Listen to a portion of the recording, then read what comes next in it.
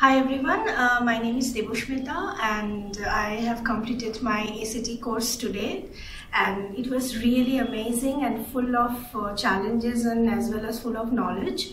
I come to know about ATC uh, from Google itself as I was wanted to do a teaching course on an upgraded basis and over here in ACT we have been treated as a very uh, gem basis and uh, we learned so many good experience over here. Our trainer Sharmila, she's a very uh, knowledgeable and very positive attitude woman. She guides us in such a way that we now we all are very confident and we can face the world uh, as aspired teachers. Thank you so much.